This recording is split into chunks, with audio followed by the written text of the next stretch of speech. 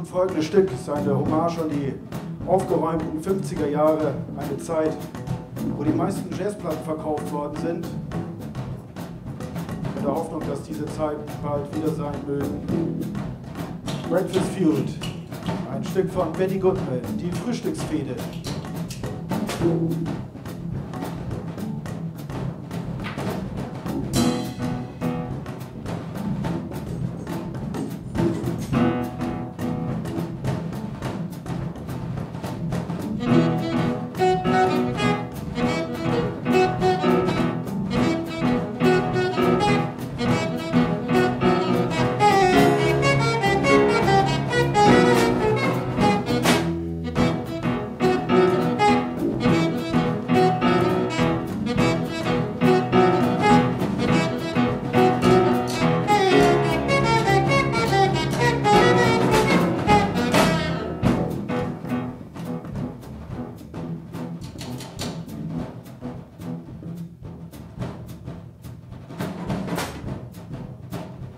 Thank you.